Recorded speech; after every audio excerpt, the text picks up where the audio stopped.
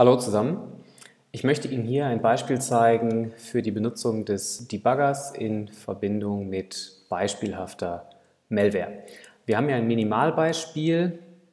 Hier ist der C-Code dargestellt, der entsprechend kompiliert wurde. In dem Fall ist er jetzt nicht wirklich bösartig, aber wir möchten hier ein Phänomen insbesondere uns anschauen nämlich das Beispiel, dass hier die Funktion sleep aufgerufen wird mit einem vergleichsweise hohen Wert. Das heißt, hier wird also für ähm, drei Minuten quasi nichts gemacht äh, und erst danach wird eine Messagebox ähm, aufgerufen und, und, dargestellt.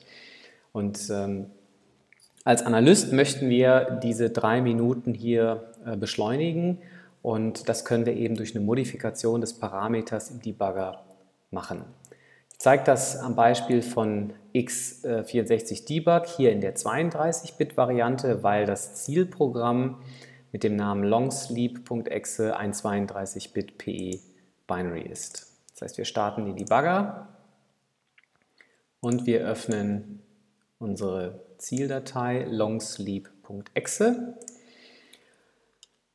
Und hier ist es jetzt eben zunächst so, dass der sogenannte System Breakpoint erreicht wird. Das heißt, die erste Instruktion, die überhaupt im User Mode ausgeführt wird. Wir haben auch das ja schon gesehen in vorherigen Beispielen. Hier handelt es sich um eine Adresse, die in NTDLL liegt. EIP zeigt eben jetzt auf Hex 775505A7.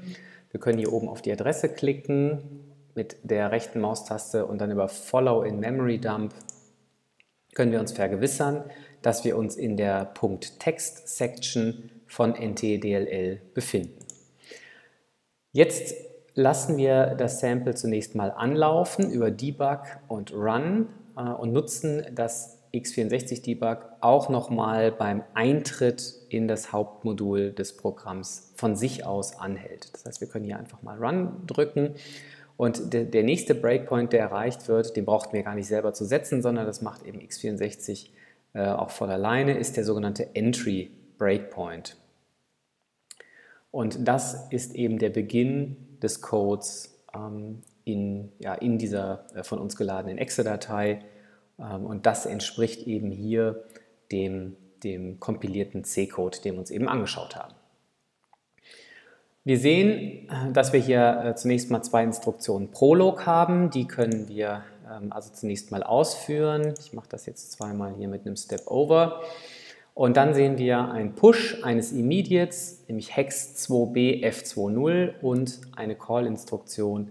Und der Debugger deutet hier schon an, dass das eben auf die Funktion Sleep in der Bibliothek Kernel 32 geht. Das heißt, der Immediate hier, Hex 2b F20, ist eben das Argument für diese Sleep-Funktion. Wir können jetzt folgendes machen. Wir lassen diesen Push mal ausführen und sehen dann hier in unserer Stack-Ansicht, dass die Immediate eben auf den Stack gelegt wurde, damit sie eben als Parameter für Sleep gilt. Und jetzt können wir eben diese, diesen Wert hier auf dem Stack modifizieren, indem wir hier mit der rechten Maustaste zum Beispiel draufklicken und dann auf Modify gehen. Und jetzt können wir eben den Speicherinhalt hier modifizieren.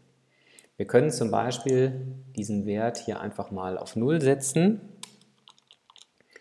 Das würde dazu führen, dass die Sleep-Funktion jetzt eben nicht mehr mit dem Parameter ähm, hex2bf20 aufgerufen wird, sondern eben mit dem Wert 0. Das heißt, hier werden 0 Millisekunden geschlafen.